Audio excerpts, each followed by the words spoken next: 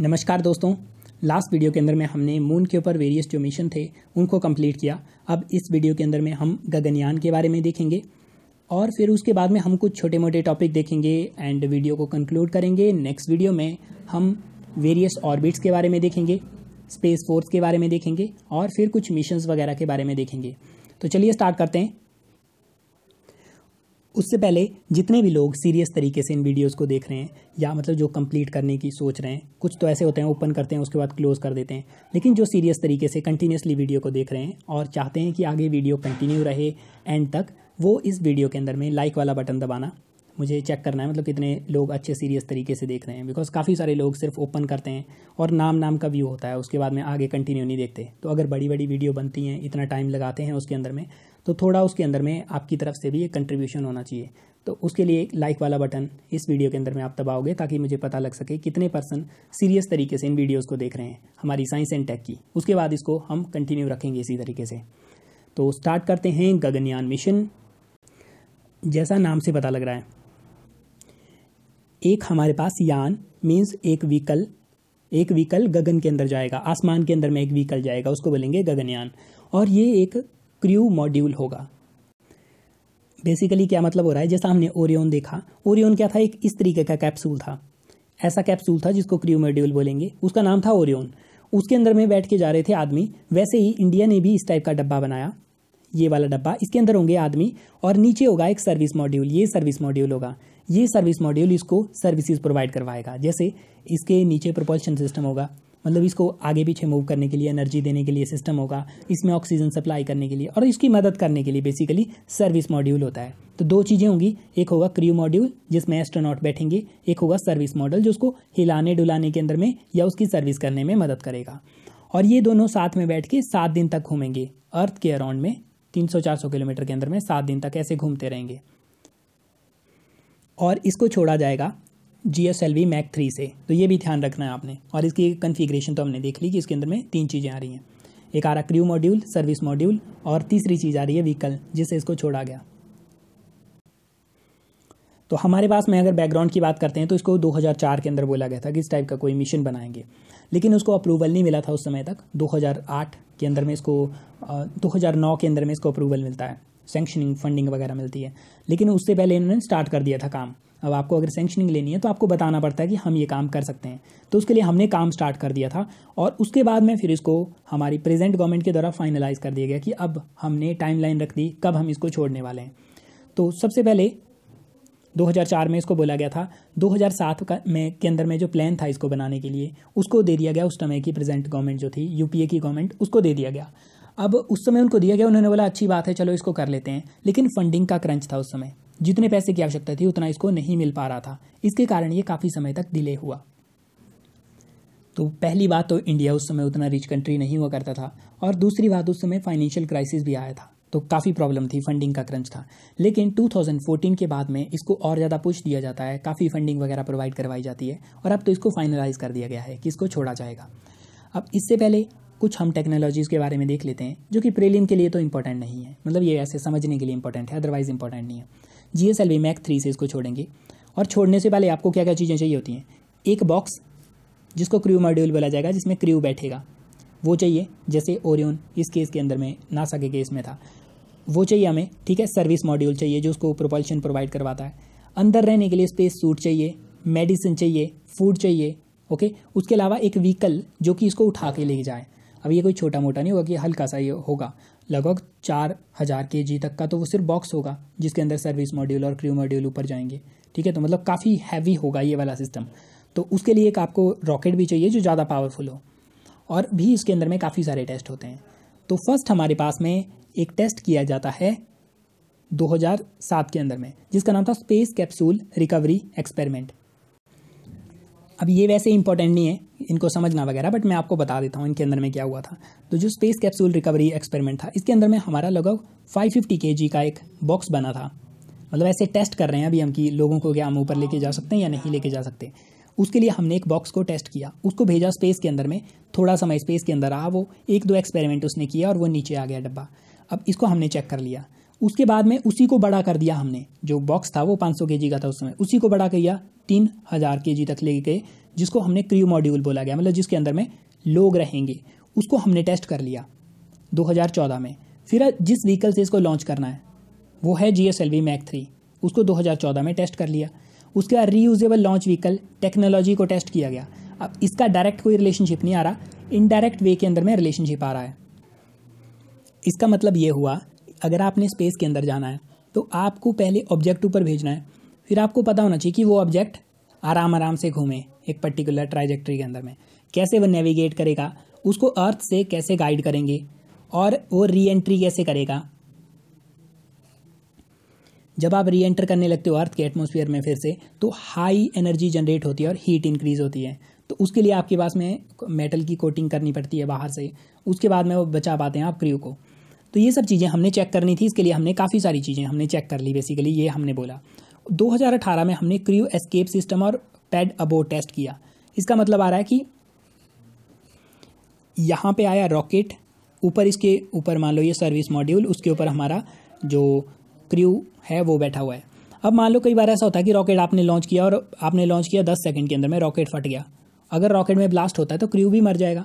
लेकिन ये जो अबॉर्ट सिस्टम होता है और एस्केप सिस्टम होता है, इसका मतलब है कि आपका जो रॉकेट है उससे एकदम, जैसे हमारे फाइटर पायलट होते हैं, वो इजेक्ट कर जाते हैं, वैसे ही वो बॉक्स जो है वो इजेक्ट कर जाएगा ऊपर की तरफ़ और रॉकेट को नीचे छोड़ देगा, अगर रॉकेट में आग लगती है तो।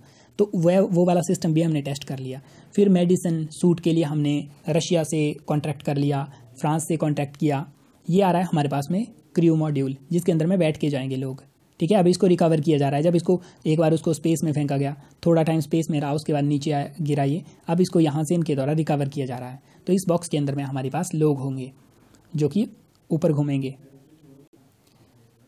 उसके अलावा हमने रशिया के साथ पैक्ट साइन किया, फ्रांस के साथ साइन किया। ये उतना इंपॉर्टेंट नहीं है कि पैक्ट ये बॉल बाय बॉल कमेंट्री है। इंपॉर्टेंट है गगनयान, ये क्रियूट होगा मतलब इसके अंदर में लोग होंगे, और तीन पर्सन होंगे, इसके में सात दिन तक ऊपर रहेगा ये ये इंपॉर्टेंट आता है। इसके बाद इंडिया जो है फोर्थ कंट्री बनेगा, जिसने स्पेस के अंदर में हमारे लोग भेजे हुए हैं, ठीक है? पहले यूएसएसआर यूएस चाइना इन्होंने भेजे हुए हैं। मतलब अपने की बात की जा रही है ऐसे तो हमारे पास इंटरनेशनल स्पेस स्टेशन के अंदर में काफ़ी सारे देशों के वैज्ञानिक गए हुए हैं। तो उसमें तो गए हुए हैं दूसरे देशों के, लेकिन उनका अपना प्रोग्राम नहीं है वो, ठीक है? तो इंडिया अपने प्रोग्राम में भेजेगा फोर्थ कंट्री है। आपको ऑप्शन में घुमा सकते हैं कि वो पाँच दिन तक ऊपर रहेंगे या एक दिन तक ऊपर रहेंगे। अभी ये तो क्लियर नहीं है एग्जैक्टली मतलब पाँच सात कितने रहेंगे वो बट सात वैसे जर्नल वे के अंदर में साथ है। अभी चेंज हो सकता है बिकॉज़ ये वाला जो प्रोग्रामिंग इसकी बनाई गई थी, वो अभी पोस्टपोन हो गई है, एक साल और।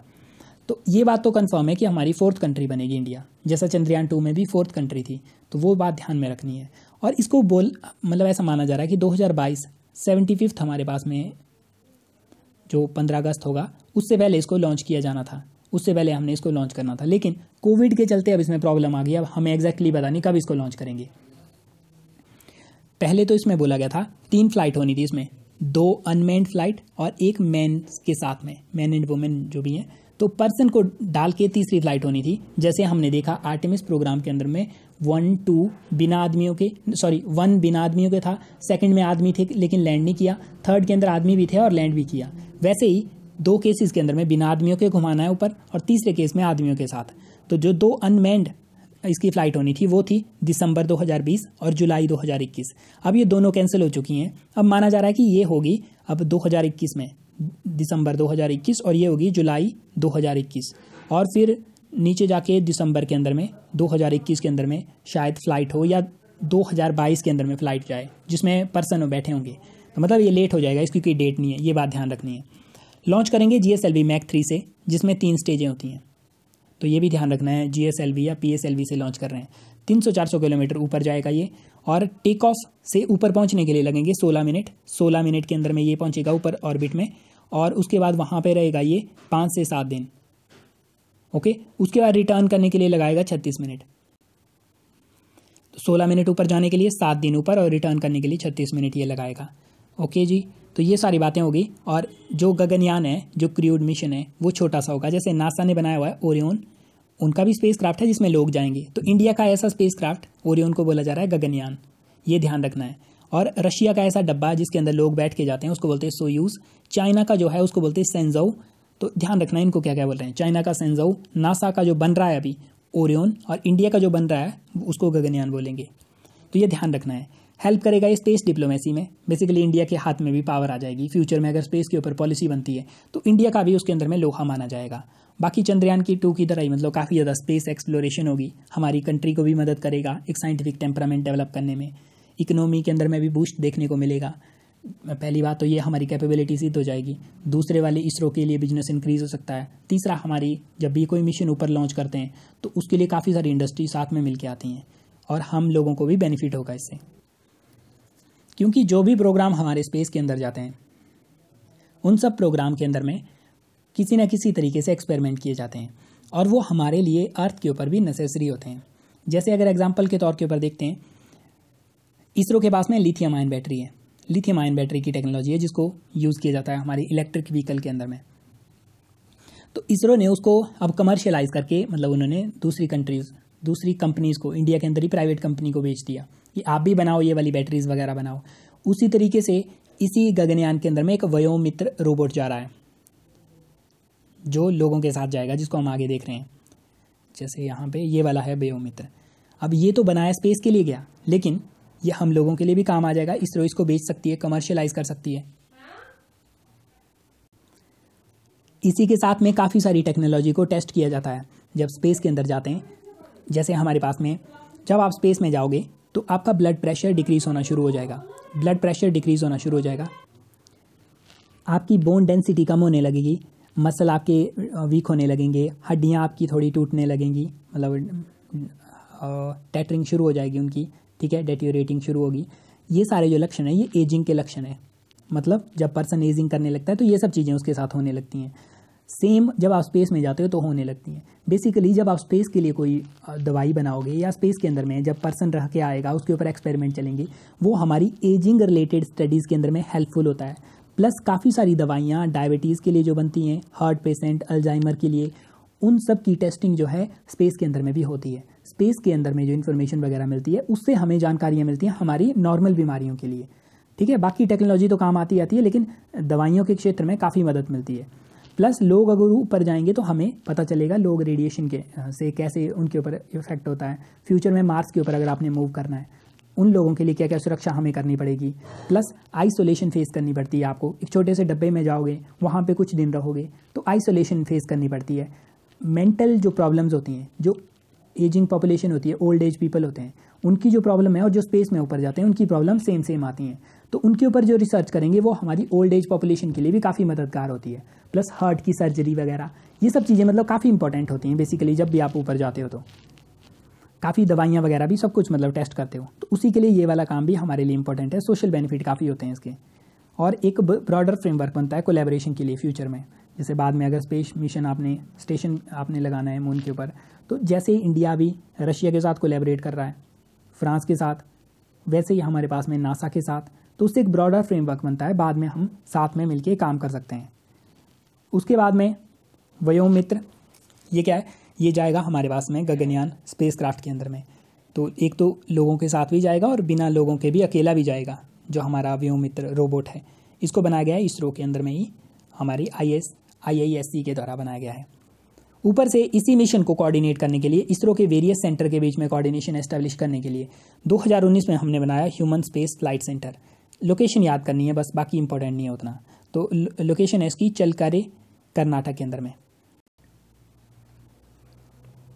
आगे आते हैं। तो आगे आता है हमारे पास में जैमिनी जैमिनी क्या है? एक डिवाइस है। जैसे ये हमारे पास कोस्ट लाइन है। तो आपके फ़ोन जो होते हैं मतलब दस बारह किलोमीटर तक चलते हैं। यहाँ तक कोस्ट लाइन के अंदर में। क्योंकि उतनी टावर वगैरह मतलब ख़त्म हो जाते हैं उसके बाद में। तो आपके फ़ोन के अंदर सिग्नल वगैरह कुछ नहीं आता। अगर आप फिशिंग करने के लिए जाओगे तो फिर आप मतलब बिना किसी कम्युनिकेशन के होंगे बीच सी के अंदर में। कहाँ पे फिशिंग है? सुनामी तो नहीं आ रही किसी लोकेशन के अंदर में। कहाँ पे इंटरनेशनल बॉर्डर स्टार्ट हो जाएगा? उन सब चीज़ों की जानकारियाँ हमारे जो मछुआरे होते हैं, उनको नहीं होती। उसी जानकारी को प्रोवाइड करने के लिए एक डिवाइस बनाई गई। एक ऐसा फ़ोन बनाया गया जो कि सेटेलाइट के साथ में जुड़ा हुआ है। ये हमारे पास में सेटेलाइट बेस्ड फ़ोन है, जिसके ऊपर आप एडवाइजरी सर्विस भेजोगे।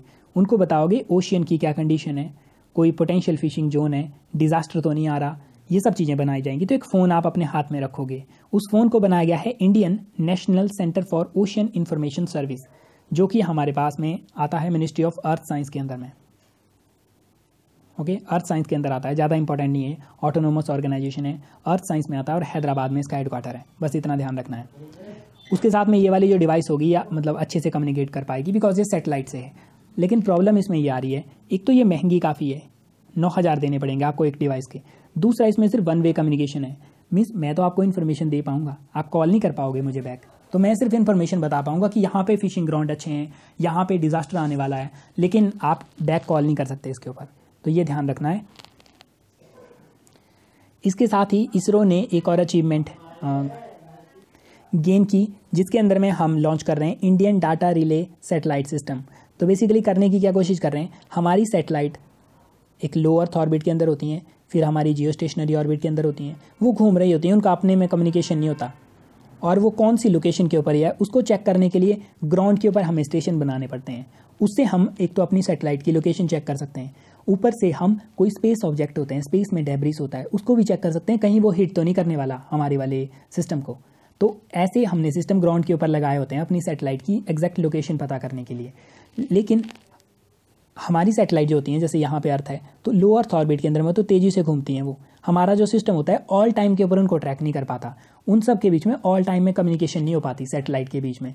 तो उन सबको इंश्योर करने के लिए हमने space to space tracking system बनाएँगे, जिसके अंदर में स्पेस के अंदर में हमने सेटेलाइट छोड़ेंगे और उस मतलब दो तीन ग्रुप की सेटेलाइट भेजेंगे ऊपर और वो ट्रैक करेंगी जितनी भी सेटेलाइट हैं। उनसे वो बात करेगी रियल टाइम के अंदर में। तो ये हमारे पास में इंपॉर्टेंट आ रहा है इंडियन डाटा रिले सिस्टम इसमें हम दो सेटेलाइट भेज रहे हैं ऊपर और कहाँ पे भेजेंगे? जियो स्टेशनरी ऑर्बिट में। और जो हम सेटेलाइट भेजेंगे जियो स्टेशनरी ऑर्बिट में, जैसे मान लो यहाँ पे एक है, यहाँ पे दो, ये जितनी भी हमारी सेटेलाइट ऊपर होंगी, उनसे कम्युनिकेशन के अंदर होंगी ये। उनसे डाटा वगैरह भी रिसीव करेंगी प्लस उनकी लोकेशन वगैरह भी ये पता करेंगी। तो काफ़ी महत्वपूर्ण चीज़ है ये हमारे लिए। फ्यूचर के अंदर में जैसे हमने, हमारा गगनयान मिशन है, उसने भी तो ट्रैवल करना है पूरी अर्थ के अराउंड में ट्रैवल करना है। उससे भी बात करने के लिए इंपॉर्टेंट होगा ये। हम अपना स्पेस स्टेशन बनाने वाले हैं। उससे बात करने में भी हेल्प मिलेगी इन सेटेलाइट से, उनकी लोकेशन पता करने के लिए। फिर स्पेस डॉकिंग आपको करनी पड़ेगी स्पेस डॉकिंग का मतलब स्पेस में दो ऑब्जेक्ट को जोड़ना। जैसे जब आप स्पेस स्टेशन अगर ऊपर बनाते हो तो ऐसा नहीं आप पूरा इतना बड़ा स्पेस स्टेशन वो हज़ारों के जी का होगा, उसको ऊपर डायरेक्टली एक बार में छोड़ सकते हो। हमारे पास तो उतना रॉकेट भी नहीं है। उसके लिए हम क्या करते हैं छोटे छोटे पीसीस के अंदर भेजते हैं और ऊपर स्पेस के अंदर उसको जोड़ते हैं। तो उन चीज़ों को बोलते हैं स्पेस डॉकिंग स्पेस स्टेशन इन सब के लिए काफ़ी ज़्यादा इंपॉर्टेंट होगा ये बिकॉज़ हम मोनीटर कर सकते हैं अपनी पूरी सेटेलाइट वगैरह को, ठीक है? और ग्राउंड स्टेशन से हम अर्लियर मोनीटर करते हैं, उनके ऊपर डिपेंडेंस कम होगी। पहली सेटेलाइट 2020 एंड के अंदर में और दूसरी 2021 जो कि डिले हो चुकी हैं। और इंडिया ज्वाइन करेगा लीग कौन कौन सी country US China Japan Europe तो याद रखना इंडिया पाँचवीं कंट्री बनेगा। जब इंडिया के पास ऐसी सेटेलाइट होंगी तो। तो ध्यान रखना है। और ये बात ध्यान रखनी, कौन से ऑर्बिट में? लो अर्थ ऑर्बिट में तो इसको डाल नहीं सकते। अदरवाइज़ ये खुद ही इतने फास्ट फास्ट घूमेगा अर्थ के, दूसरों को तो क्या ट्रैक करेगा ये? तो इसको जियो स्टेशनरी ऑर्बिट में डाल रहे हैं। ऑर्बिट क्या क्या होते हैं, इनके बारे में हम आगे देखने वाले हैं तो आपको क्लियर हो जाएगा। उसके साथ ही आपको ध्यान रखना है एक और चीज़ लॉन्चर्स के बारे में। हमारे पास पी एस एल वी है जी एस एल वी और अब एक एस एस एल वी भी बना दिया गया। तो एस एस एल वी के बारे में ध्यान रखना है। G S L V P S L V तो हमने देख लिए एस एस एल वी के बारे में थोड़ी इन्फॉर्मेशन देखनी पड़ेगी। बेसिक हमारे पास में मुद्दा ये आ रहा है। पहले कुछ समय से, जैसे 2012 से, जो हमारी स्मॉल सेटेलाइट हैं छोटी छोटी सेटेलाइट हैं, उनकी अमाउंट इंक्रीज होता जा रहा है। स्मॉल सेटेलाइट वो, जो कि हमारे 500 के या 600 के से कम है। जैसे यहाँ पे आप देखोगे, ये हमारे पास में स्मॉल सेटेलाइट हैं। अब नेक्स्ट ईयर देखो कितनी ज़्यादा इंक्रीज़ हुई, कितनी इंक्रीज़ हुई। अब ये इंक्रीज़ होती जा रही है इस लोकेशन के ऊपर में और यहाँ पे मतलब मैक्सिमम जो सेटेलाइट लॉन्च की जाती हैं, वो छोटी सेटेलाइट होती हैं। बड़े वाली अगर आप लॉन्च अगर उसके लिए आप बड़ा रॉकेट यूज़ करते हो तो उसका खर्चा काफ़ी ज़्यादा होता है। एक एक जो रॉकेट लॉन्च होता है दो दो ढाई सौ करोड़ रुपया, उसमें ऐसे ही उड़ जाता है। उसके लिए एक छोटा, हम सेटेलाइट, हमने एक सेटेलाइट लॉन्चर बनाया, एक छोटा रॉकेट बनाया, जिसके ऊपर छोटी छोटी सेटेलाइट को लेके जाएँगे। और बड़े रॉकेट की प्रॉब्लम ये भी होती है, आपको दो तीन महीने पहले एडवांस में बताना पड़ता है। उसको असेंबल करने की काफ़ी प्रॉब्लम होती है। लेकिन छोटा जो रॉकेट होगा, ये छोटू सा रॉकेट होगा, पाँच दिन के अंदर असेंबल करके आप सेटेलाइट छोड़ दोगे। तो उसके बाद में आप ऐसे लॉन्चर बनाते जाओ, आप चाहे फिर दो दो दिन के बाद में लॉन्चिंग करो। बड़े रॉकेट से तो आप कर नहीं सकते, वो उतना इकोनॉमिकल भी नहीं होता। तो इसरो ने इस मार्केट को टैप करने के लिए क्या किया? अपना एक नया लॉन्च सिस्टम लॉन्च किया, जिसको बोलते हैं स्मॉल सेटेलाइट लॉन्च व्हीकल तो ये रॉकेट है, जो कि छोटी सेटेलाइट को लॉन्च करेगा। 500 सौ के जी तक कैपेसिटी है इसकी 300 किलोमीटर तक लॉन्च करेगा ये। और छोटी सेटेलाइट को कैप्चर करने की कोशिश कर रहा है इसरो। इसरो की हमारी मार्केट की बात करते हैं, पूरे स्पेस मार्केट के अंदर में। लगभग थ्री फिफ्टी बिलियन की मार्केट होगी। इसरो सिर्फ़ दो परसेंट कैप्चर करता है। तो इससे इसरो और ज़्यादा कैप्चर करने की कोशिश कर रहा है। इसको डिज़ाइन किया गया है इसरो के विक्रम साराभाई सेंटर के द्वारा। तो इसकी ये आपको याद रखना है, पाँच सौ लेके जा सकता है ये तीन सौ किलोमीटर तक। ठीक है? तो ये बातें ध्यान में रखनी है इसके बारे में और P S L V G S L V और एस एस एल वी आ गया ये इसको जल्दी से जल्दी असेंबल किया जा सकता है और इसमें चार स्टेजेस हैं, बस ये चीज़ें ध्यान में रखनी है। चार स्टेजेस हैं, दो ये ये ध्यान में रखना है। पी एस एल वी में कितनी है? चार स्टेजें जी एस एल वी में तीन। इसमें चार स्टेजें तो बस इतना ध्यान रखना है। उसके बाद आया भुवन पंचायत। भुवन पंचायत क्या है? पंचायत के लिए एक सॉफ्टवेयर है जो कि डिज़ाइन किया गया है इसरो के द्वारा, जो कि इसरो का जो डाटा होता है इसरो का सेटेलाइट का रिमोट सेंसिंग का जो डाटा होता है, उस सबको कैप्चर करता है और पॉलिसी मेकिंग में हेल्प करता है। पुरानी न्यूज़ है, उतनी इंपॉर्टेंट नहीं है, लेकिन भुवन पंचायत याद रखना है, इसरो का प्रोग्राम है। करेंगे क्या? पंचायत को पूरा सिस्टम मिलेगा। इसरो जैसे पूरी इमेजेस लेता है। ये आपकी पंचायत है। इसमें मनरेगा का कितना काम हुआ? उन सब के लिए इसरो इन्फॉर्मेशन देगा। कहाँ पे आपका घर है? कहाँ पे आपके प्लांट हैं? कहाँ पे आपका ज़मीन है? एक प्लानिंग अगर आपने करनी है अपने एरिया में उसके लिए डाटा वगैरह मिलेगा। तो बेसिकली पंचायत को पॉलिसी मेकिंग के अंदर में हेल्प मिले, उसके लिए भुवन पंचायत सॉफ्टवेयर बनाया गया है इसरो के द्वारा। पुराना है तो उतना इंपॉर्टेंट भी नहीं है ये। उसके अलावा एक न्यूज़ थी विकास इंजन की, ये भी कोई उतना खास इंपॉर्टेंट नहीं है। इंपॉर्टेंट इस लिहाज से है कि ये इंजन है रॉकेट इंजन।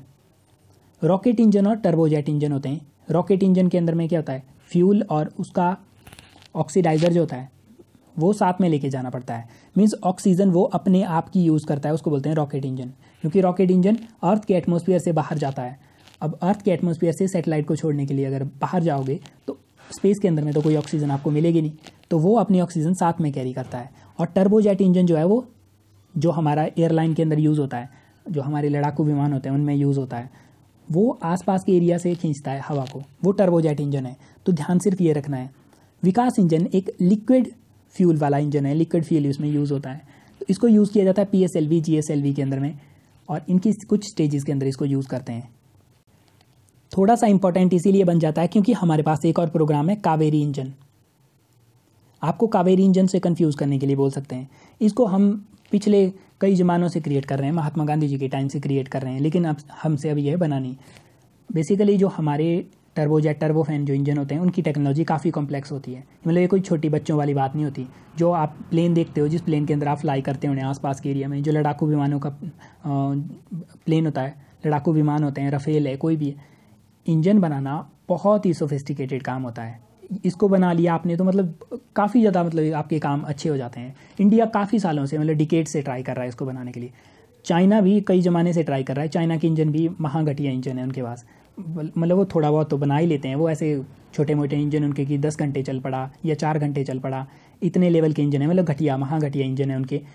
बेस्ट इंजन आते हैं वेस्टर्न टेक्नोलॉजी के, फिर रशिया वाले इंजन अच्छे हैं। तो ये वाली जो टेक्नोलॉजी होती है किसी कोई किसी को नहीं देता।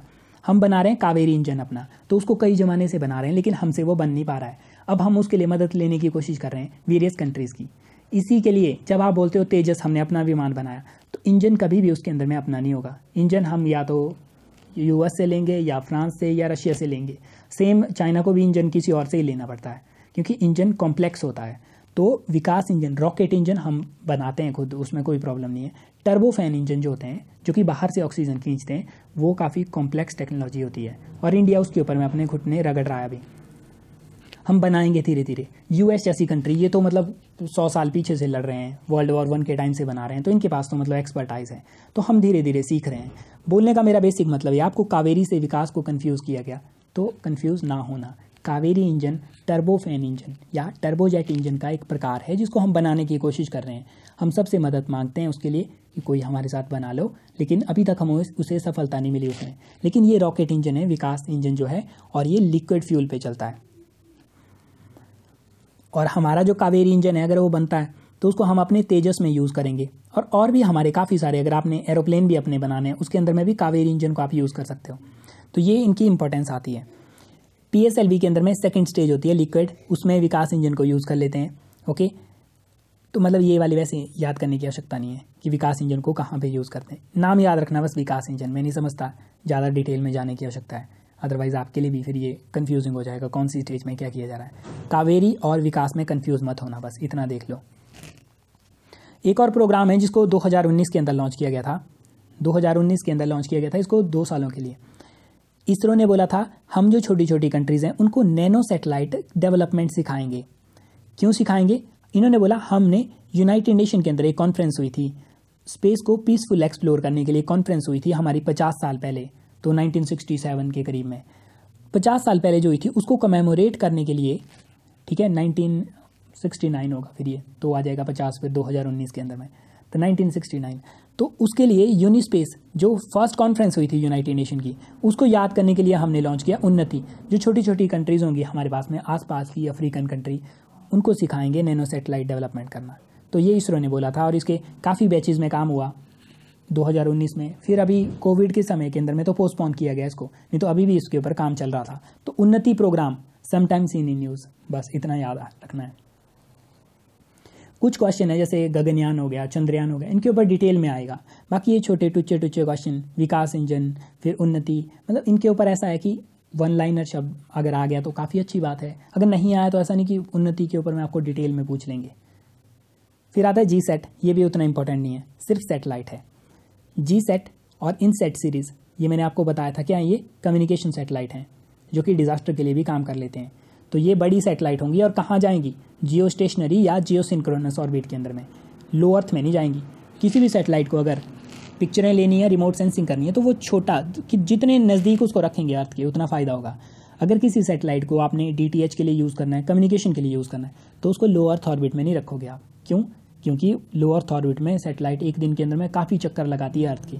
ज़्यादा चक्कर लगाएगी तो उसका तो कनेक्शन वैसे ही टूट जाएगा। तो आपको बहुत सारी सेटेलाइट रखनी पड़ेगी। टीवी के लिए आप एक सेटेलाइट रखोगे ओके इस केस के अंदर में लो अर्थ ऑर्बिट में तो आपको काफ़ी सारी रखनी पड़ेंगी। तब आप टीवी देख पाओगे। अदरवाइज़ आप तो छतरी घुमाते रह जाओगे इधर उधर, अपने जो डिश होगी उसकी तो इसीलिए G SAT INSAT communication satellite हैं। तो हमने एक सेटेलाइट थी इन सेट फोर ए उसको रिप्लेस करने के लिए जी सेट थर्टी भेजी। इसको भेजा गया काफ़ी भारी थी तो हमने इसको भेजा गया फ्रांस का रॉकेट है एरियन फाइव याद रखना है इसका। एरियन फाइव फ्रांस का है स्पेस एक्स का है फॉल्कन ओके तो याद रखना है। इसके अंदर में हमने इसको भेजा। पंद्रह ईयर लाइफ है। ये कुछ नहीं इंपॉर्टेंट भी नहीं है। जी सेट बस नाम नाम की इंपॉर्टेंट है। काम क्या करेगी? कम्युनिकेशन का काम करेगी ये। तो क्या? D T H V SAT services basically communication का काम कर रही है। उसके बाद ये हमने देख लिया कि ये हमारे कर्नाटक के अंदर में चलकारे लोकेशन के ऊपर में हमने स्पेस फ़्लाइट सेंटर बनाया, जो कि कोऑर्डिनेट करेगा जो हमारा गगनयान मिशन होगा उसको कंप्लीट तरीके से। तो वो हमें ध्यान रखना है। उसके बाद नेक्स्ट वीडियो में ऑर्बिट्स के बारे में देखेंगे। तो ये इनके बारे में हमने देख लिया। ये छोटी छोटी इन्फॉर्मेशन इनको उतना ही आपने तवज्जो देनी है, उतनी इंपॉर्टेंस दो जितनी की उनकी हालत हो, जितनी उनकी औकात हो, उसके अनुसार। अदरवाइज़ ज़्यादा पढ़ने लगोगे तो आपको कन्फ्यूज़न होगा इनके अंदर में। ओके तो अब मिलेंगे हम नेक्स्ट वीडियो के अंदर में तब तक के लिए धन्यवाद।